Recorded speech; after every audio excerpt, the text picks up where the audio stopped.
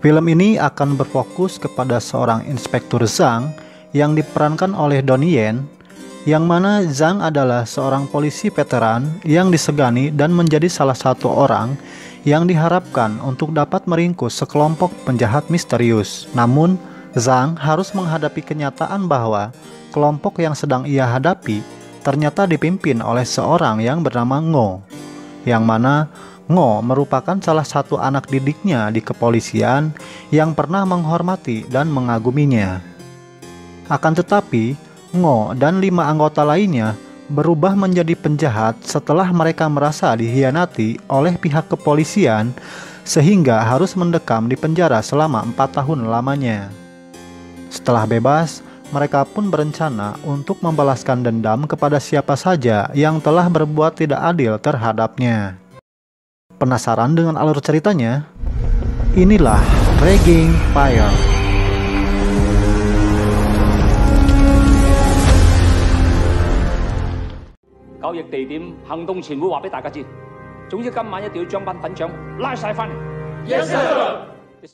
Di awal film, pihak kepolisian sedang mengadakan rapat tertutup yang dipimpin oleh inspektur bernama Yao. Inspektur Yao memerintahkan kepada anak buahnya untuk meringkus seseorang bernama Wang Kun. Yang mana Wang Kun merupakan pimpinan bandar narkoba yang dikenal sadis dalam setiap menjalankan aksinya. Untuk itu, mereka dituntut agar dapat menangkap kelompok Wang Kun malam itu juga. Masalah kemudian muncul di mana Zhang dan anggotanya secara diam-diam ternyata tidak dilibatkan dalam misi tersebut.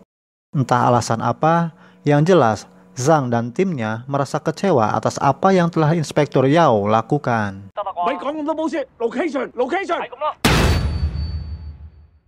Inspektur Yao yang telah tiba di lokasi pun langsung melakukan pemantauan target yang nantinya akan mereka sergap. Waktu yang dinanti pun datang. Kelompok Vietnam yang akan bertransaksi dengan Wang Kun telah tiba di lokasi. Yao kemudian menyuruh timnya untuk bersiap dalam posisinya masing-masing dan menunggu perintahnya. Di sisi lain, kelompok Ngo dengan tim bertopeng rupanya hadir juga di tempat tersebut. Mereka pun kemudian menyerang kelompok Vietnam dan menghabisinya sebelum sampai kepada Wang Kun. Lantas, Ngo dan anggotanya menemui Wang Kun, sang bos besar bandar narkoba. Wang Kun yang belum menyadari bahwa mereka bukan kelompok Vietnam yang dimaksud, merasa aneh dengan tampilan yang tidak biasa. Tidak ingin berdebat panjang, Wang Kun ingin segera mengakhiri transaksi yang sudah disepakati bersama sebelumnya. Namun, Ngo yang menggunakan topeng itu menunjukkan HP kepada Wang Kun tentang keberadaan polisi di gedung tersebut. Jelas saja, Wang Kun marah dan kemudian menyerang kelompok Ngo.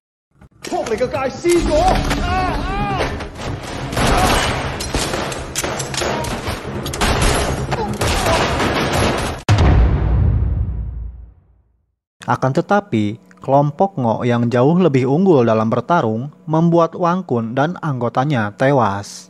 Tidak sampai di situ, Ngo dan anggotanya bahkan mampu melumpuhkan polisi yang akan menangkap mereka. Sehingga Inspektur Yao yang sudah terkepung harus kehilangan nyawanya dalam misi yang ia jalankan. Sang yang tiba setelah kejadian merasa terkejut dengan keadaan di gedung itu. Ia pun harus bersedih ketika melihat teman baiknya, Inspektur Yao, yang sudah tewas dengan kondisi mengenaskan.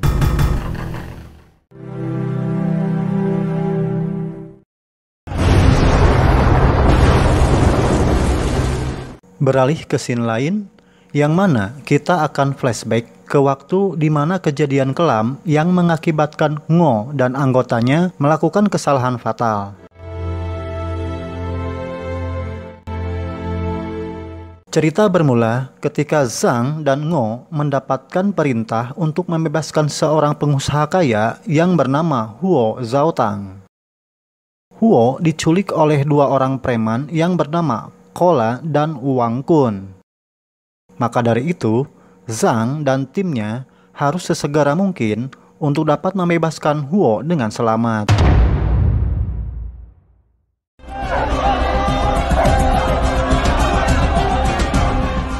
Mereka pun beraksi dengan mengintai gerak-gerik Kola dan Wang Kun yang sedang melakukan transaksi narkoboy. Lantas, pada saat yang tepat, Zhang membagi tugas dengan menyerahkan Kola kepada Ngo dan dia sendiri yang menangani Wang Kun. Setelah membututi Kola, akhirnya Ngo dan timnya berhasil meringkus Kola yang kemudian dibawa ke sebuah tempat untuk diinterogasi. Di tengah proses interogasi, tiba-tiba Ngo dihubungi Inspektur Situzi yang memerintahkan mereka untuk segera menemukan Huo bagaimanapun caranya. Akhirnya, dengan sedikit kekerasan, Ngo menekan Kola agar mau membuka mulut tentang keberadaan Huo Zaotang. Dengan cara itu, Kola yang tadinya bungkam pada akhirnya memberitahukan lokasi di mana Huo disekap. Di sini sebenarnya tim Ngo sudah bertindak sesuai aturan. Namun salah satu anggota yang bernama Gongzi malah bertindak di luar batas sehingga membuat Kola harus tewas di tempat tersebut.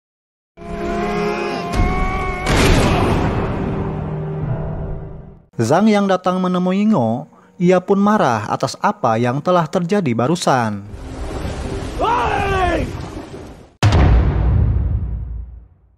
Setelah kejadian itu, hubungan Zhang dan Ngo mulai mengalami keretakan. Yang pada akhirnya, kasus ini pun menyeret Ngo dan anggotanya ke ruang pengadilan. Di tempat ini, Ngo dan anggotanya harus menerima kenyataan pahit akibat tekanan dari berbagai pihak. Inspektur Situji yang tadinya menjanjikan perlindungan malah lepas tangan atas kasus anggota yang ia pimpin. Tak luput juga Huo Tang yang Ngo dan anggotanya bebaskan malah ikut menyudutkan mereka semua. Dengan itu, pengadilan pun memberikan hukuman dengan memutuskan vonis 4 tahun penjara kepada mereka.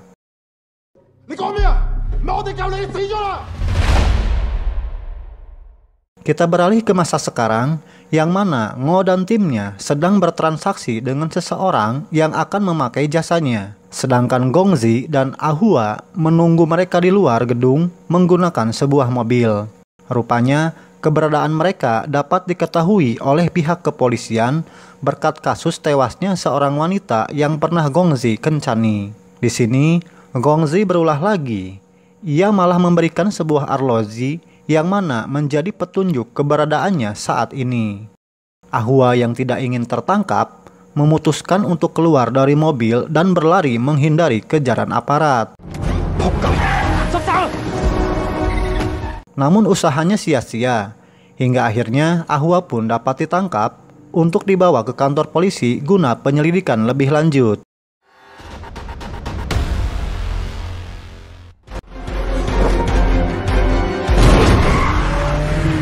Sedangkan Gongzi dan yang lainnya berhasil lolos dari kejaran anggota yang dipimpin oleh Inspektur Zhang. Saat berada di dalam markas, anggota Ngo langsung memukuli Gongzi atas kesalahan yang ia lakukan.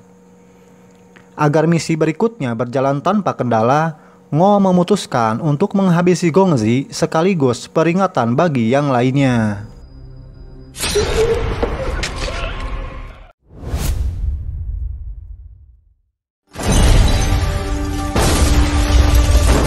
Di sisi lain, pihak kepolisian telah menaruh curiga terhadap kelima mantan anggotanya yang telah bebas empat tahun silam.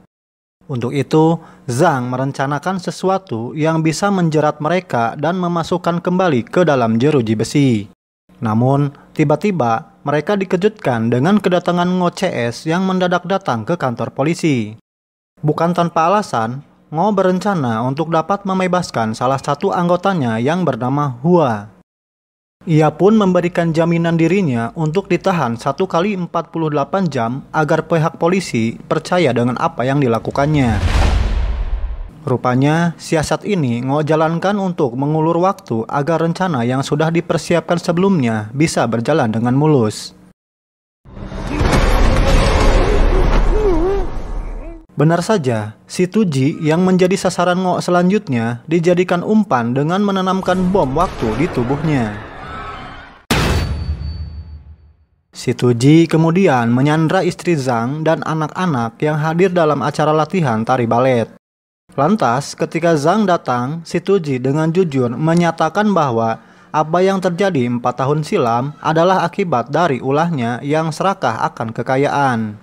Percakapan ini kemudian Ngo monitor lewat jarak jauh yang disaksikan bersama anggotanya.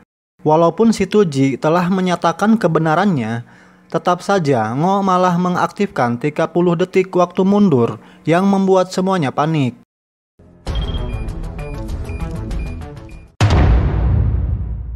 Di detik-detik terakhir yang menegangkan, terpaksa anggota kepolisian harus menembak mati si Tuji agar nadi yang terhubung ke timer terhenti.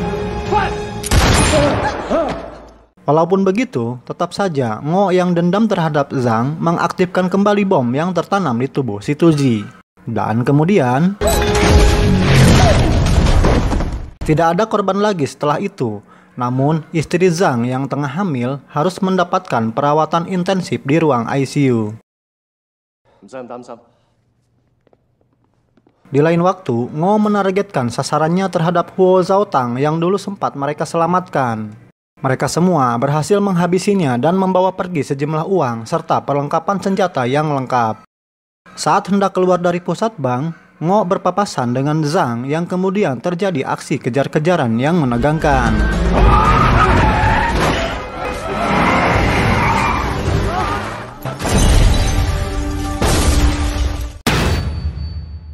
Walaupun hanya berempat, namun Ngo dan anggotanya mampu mengimbangi polisi karena mereka memiliki persenjataan yang memadai. Dalam aksi baku tembak tersebut, salah satu anggota Ngo harus terluka di lengannya yang mengakibatkan kekuatan mereka berkurang. Akhirnya, mereka kelelahan sehingga salah satu tim yang terdesak harus meregang nyawa akibat mendapatkan serangan dari Zhang. Begitu juga dengan Hua yang harus tewas akibat terdesak oleh anggota polisi yang menemukannya.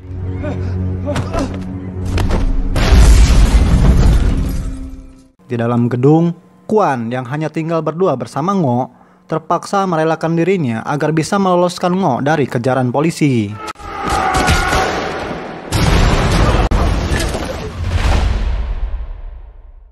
Kini tinggallah Ngo dan Zhang yang harus berhadapan satu lawan satu. Di awal perkelahian mereka, Zhang harus mendapatkan serangan yang bertubi-tubi dari Ngo, sehingga membuatnya mendapati beberapa luka di tubuhnya. Namun, Sutradara berkata lain, duel sengit ini pun akhirnya bisa dimenangkan oleh Zhang yang membuat Ngo harus menyusul teman-temannya ke akhirat.